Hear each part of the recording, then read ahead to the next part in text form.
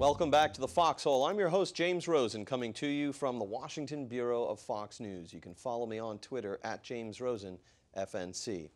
Up to now, about the sharpest elbow thrown in the 2016 presidential process has been Senator Marco Rubio's characterization of Hillary Clinton as yesterday. But with the first of the televised candidate debates less than 90 days away, we are likely soon to enter a new and decidedly less gentlemanly phase of the campaign cycle. How bad will it get?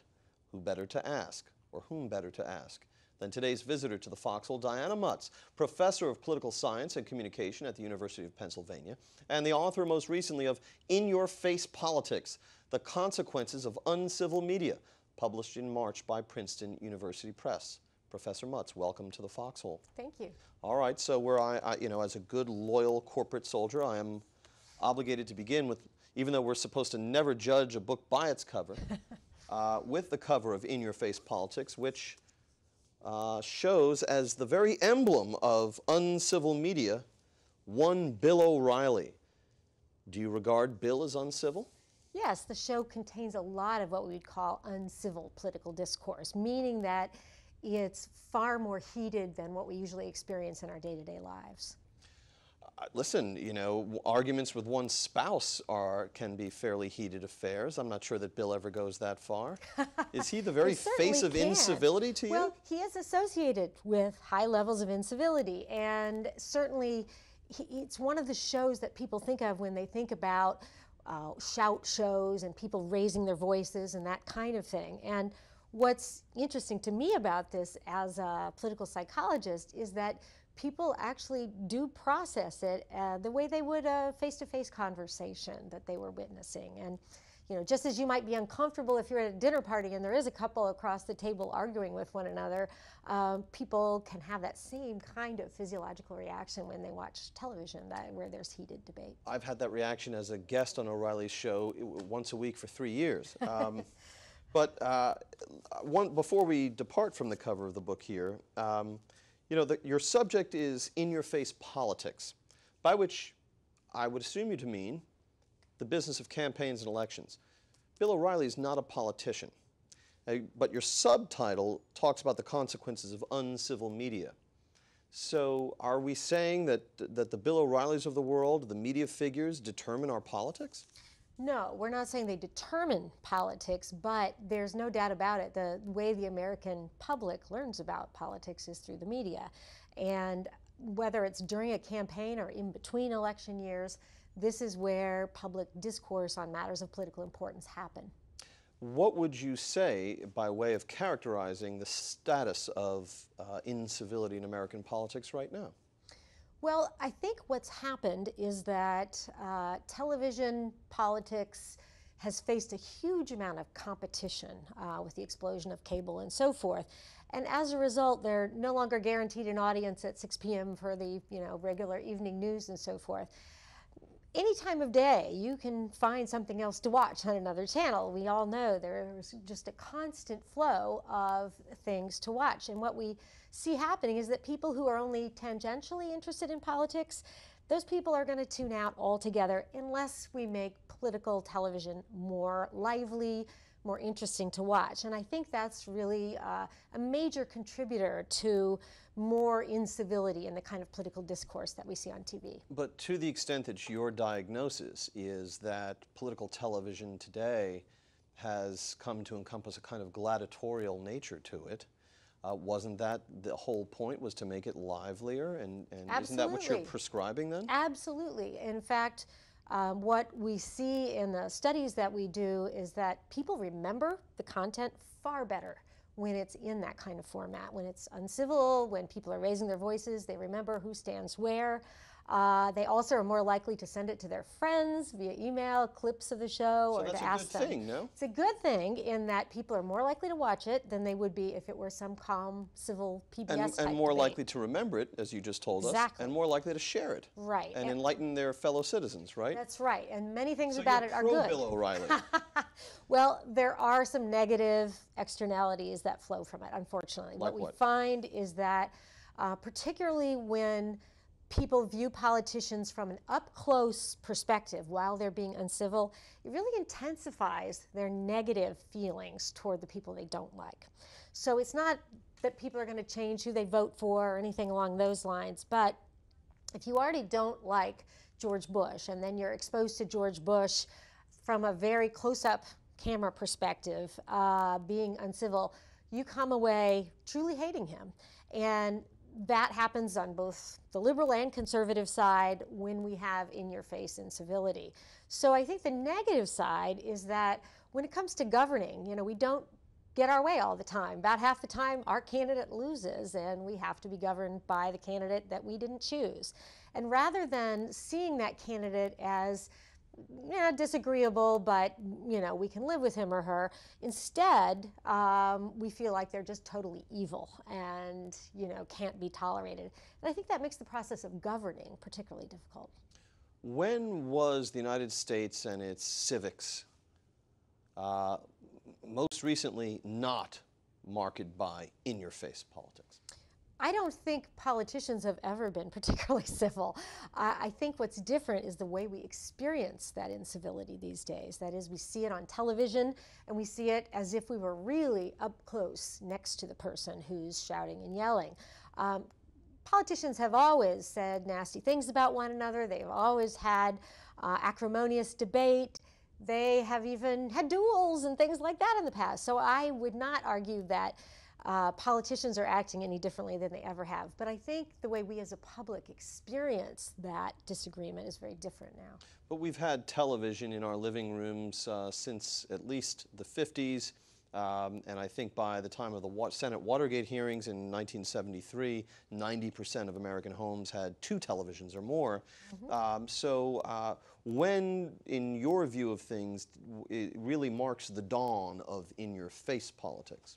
Well, based on my studies, uh, really it was the late 80s um, when shows made active efforts to really liven things up using incivility. Now, you know, there could be other ways of drawing viewer attention and so forth other than incivility that might do, not do the same what, what shows do you have in mind? So there are all kinds of shows. Um, there's Meet the Press that had a certain degree of incivility.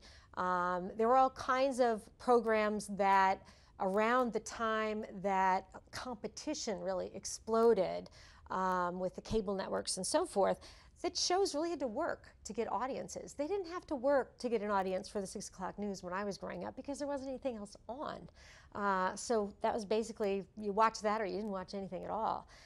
What's different now is that our uh, basically what we view is much more a function of what we choose. So people who aren't interested in politics, people who are only, you know, kind of moderately even aware of what's going on politically, they're not going to be exposed to these programs unless there's something exciting about them to watch. A real knockdown, drag out, you know, World Wrestling Federation type of fight. And our TVs are also very different.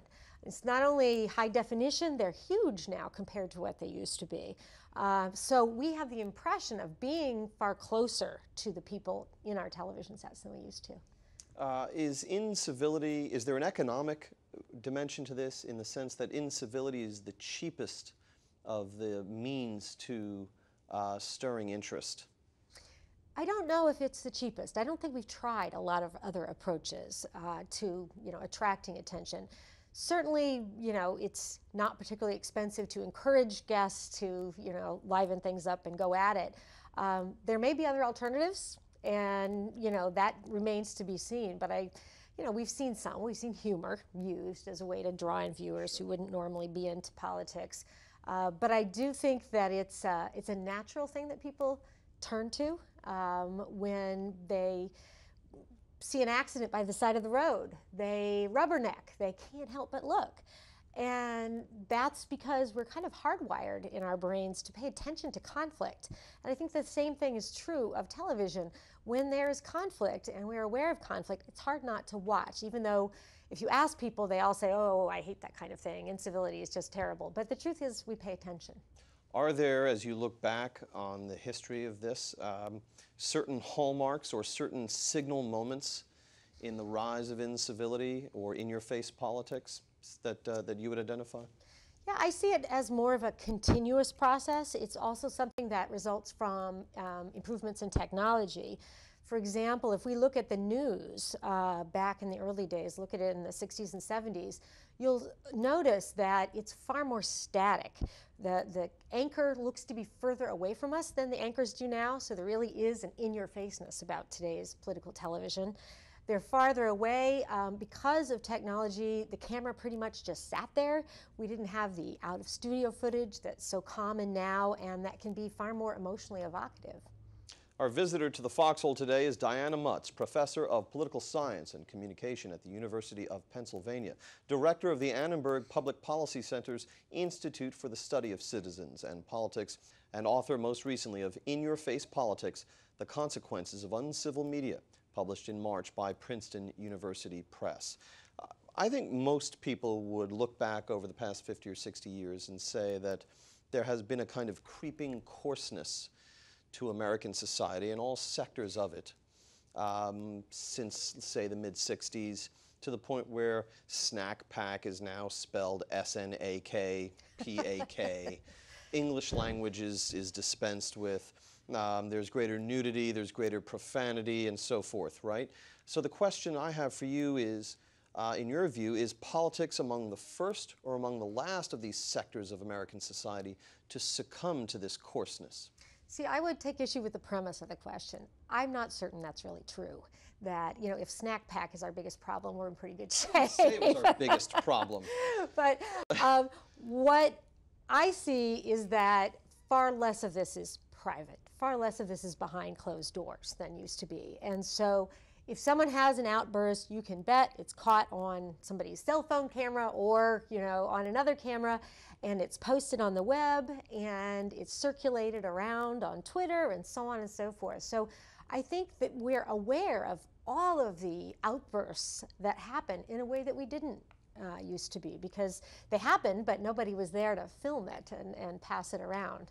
Uh, the last visitor to the foxhole preceding your visit here today was the um, journalist and author Matt Bai, who has recently published uh, a book called All the Truth Is Out The Week Politics Went Tabloid.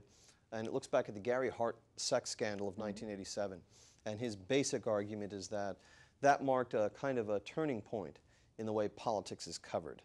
Uh, one could argue that the greater incivility was shown by Gary Hart to his wife or by the media that were uh, aggressively probing a candidate's sex life for news mm -hmm. material, right? Um, do you happen to see the Gary Hart scandal as a kind of a pivotal turning point in, in in-your-face politics? No, not necessarily. And I say that because, you know, if you look back historically, Jefferson was publicly accused of being an adulterer. This is not exactly a new claim. Yeah, yeah, there are just lots and lots of them. So I see this as being a very um, consistent part of American politics, that it is coarse, that people do accuse one another of things and so forth. And I don't know that there is one pivotal point, but certainly uh, there's so much competition for our attention these days that these kinds of things draw attention. I mean, there's no doubt about it. We are hardwired to pay attention to those kinds of uh, exposes and so forth. It's interesting. Is this simply a, a, a, function of the free market? That is to say, people love conflict, they love spats, they love uh, in-your-faceness, and therefore the, the, the, the world of television and politics and media is simply responding to a market pressure and, and supplying more of it? Or are these institutions, in fact, tastemakers who, if they were a little more higher minded of purpose, could encourage a less in your face civics on the part of the citizenry? I see this as something that is fairly hardwired in human beings. That is, uh, people will always pay attention to conflict, and evolutionarily, that made a lot of sense um, that our brains are wired that way we still, when we go to the movies and we see a train come toward us, we pull back. Now, we all know that train isn't going to hit us on the TV screen or the movie screen. We react in ways that suggest that we're not really accustomed to representational media that we have, especially such high quality, instantaneous kinds of things. So I think that there is not a lot you can do about this basic human tendency competition is going to mean that people resort to other means of attracting attention, and I think that's appropriate. I am not in favor of having uh, all political debate look like PBS because, quite frankly, no one would watch it, and then it wouldn't do any good when it comes to educating the public.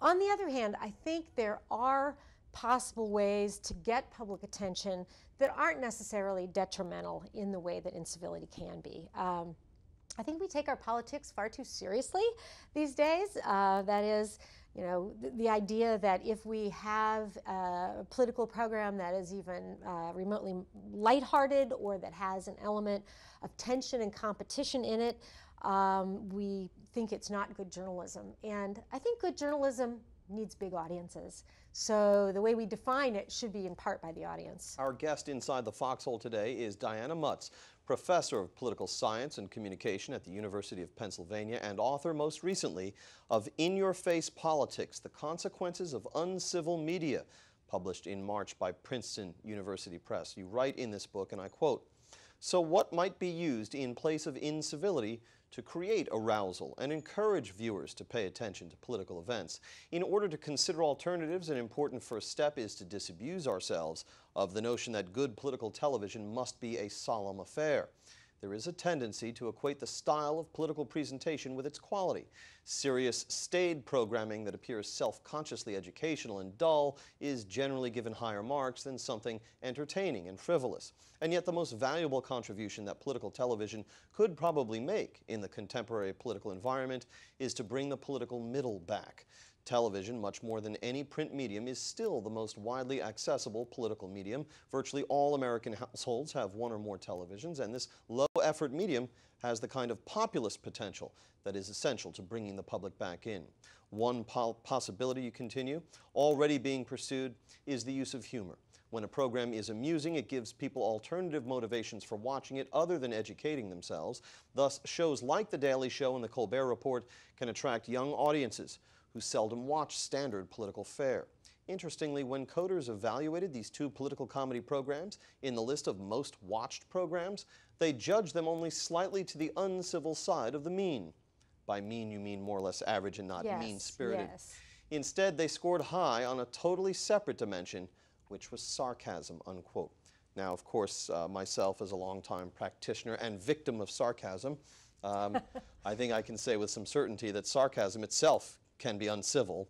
Absolutely. Uh, I'm not sure of the distinction being made there, but uh, what's your larger point with that passage? So we have satirical programs. We did in the 60s, like the, that was the week that was, and so mm -hmm. forth, Saturday Night Live in the mm -hmm. 70s and beyond. Um, and yet we've seen this rise all this time in, in, in uncivil media and in your face politics. So, what good are those programs going to do? Well, it's not those particular kinds of programs that I have in mind. What I think we need is more innovation in the types of political programming that we put on, both during election years and in between. Uh, there are ways of attracting viewers that don't necessarily create negative consequences. And the analogy that I like to make is when uh, researchers discovered that boy, little kids really like violent television. and that was something that drew them in like nothing else. But there were some unfortunate consequences for some kids to watching violent TV. Sesame Workshop came in, brought their researchers in, and found out that, hey, you know what? There are other things that also draw them in. So we don't necessarily have to use violence in order to draw in viewers. And I think the same is true of politics. For example, take a show like American Idol. Now, American Idol is something that was, you know, a huge success, not only in the U.S., but in many uh, foreign countries as well. They had their own versions, in part because people uh, felt like they could call in and influence what was transpiring from week to week and so forth. Uh, I often think to myself, why don't they do something like that during the presidential primaries? You know, have a program where they give them the airtime, you know, 10 minutes each or however many candidates you have to talk to the American public, do whatever they want, and let the American public decide who gets more free airtime the following week. Now, that kind of thing, I think the public would think was great fun. They would feel empowered being able to call in individual states and their primaries and so forth, they would never go along with it. Obviously, they all have their own rules. Nonetheless, I think it would a process like this would end up influencing the real world process of selecting candidates because it would be an opportunity for the American public, not just in Iowa and New Hampshire, but everywhere. And we're not to imagine that the various candidates would seek to influence that outcome by of course they having would. tens of thousands of followers dial in at the requisite time. Or? Yes, they would, but that happens on American Idol as well. And obviously, we're not going to have a binding process. All this does is determine who gets more time. I think that the, uh, that the appeal of American Idol is that you're seeing real people do real things, right, that are not easy to do, which is hit the high notes and mm -hmm. dance and so forth. Whereas in politics, you know, we kind of, we kind of intuitively understand that somebody else wrote the speech for them.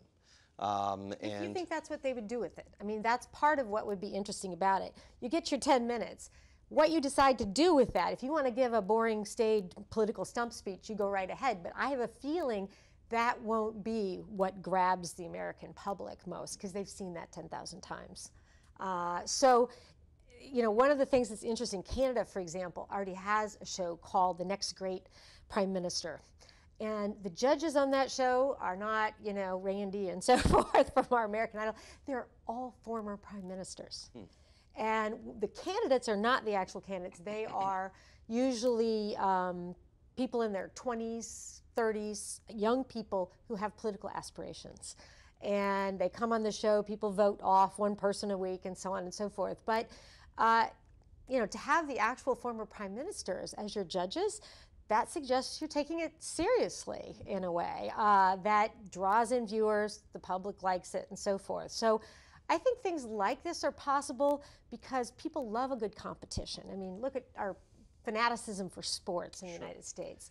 And this is a competition. Uh, that's what makes it fun for people.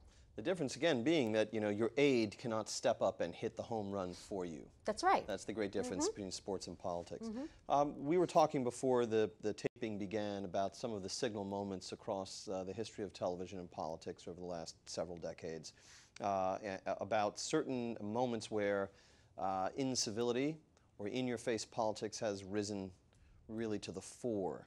What are two or three of those moments that you would identify that people can go up and look up on YouTube, say? Uh, well, there are many of them these days. Um, one of my favorites is the Chris Matthews Zell Miller exchange uh, at the Republican National Convention, and I think it was 2004, um, where you know, basically things get so heated that Miller says he wants to challenge him to a duel. Um, another favorite of mine is uh, the "You Lie," uh, Joe Wilson yelling during the um, State of the Union taping uh, President, President, Obama.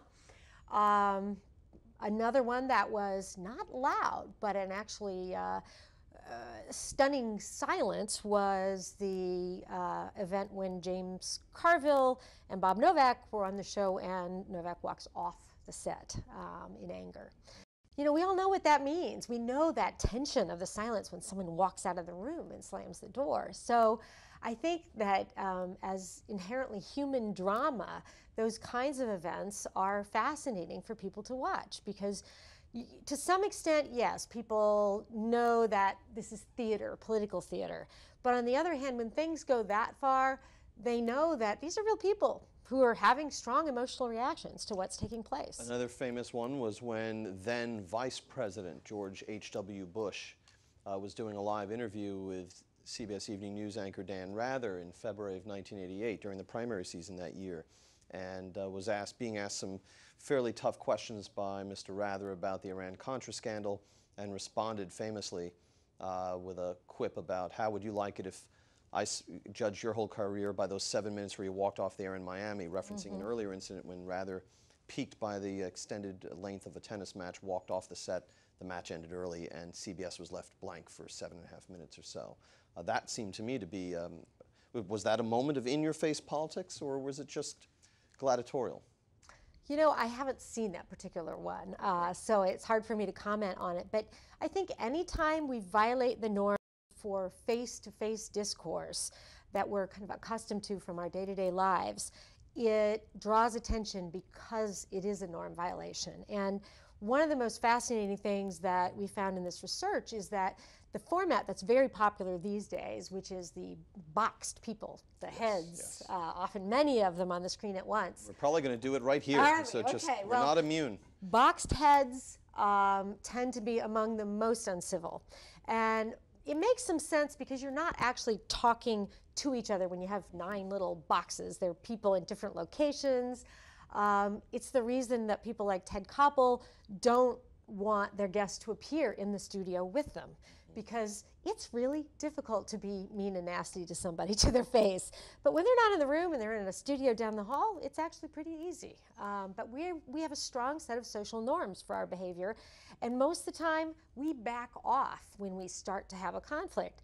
But on television, that's not what happens. Uh, Last question. Sure. Um, since you define in your face politics as the conduct of politics when it uh, goes beyond the kind of courtesies we would display to each other in our regular civil discourse, do you regard that our regular civil discourse itself is nastier and more in your face than it used to be outside of the political media context? The, the interaction between uh, customer and cashier or, or, or husband and wife or any of the other sort of interactions that occur multiple billions of times a day in our discourse. Is that more in your face than it used to be? Uh, not based on any research I've seen. In fact, social norms are pretty much as they always were, and certainly they change in various ways, but uh, people still obey the same norms. They differ from culture to culture, but no, people are actually pretty polite to one another in face to face scenarios most of the time. Behind the wheel of a car does not count as face to face, correct? well, as I was going to say, that even those incidents we know about now in a way we didn't before you know national media were around. So if somebody's horse and buggy drove another one off the road, you and I wouldn't know about it unless it happened to be in our town.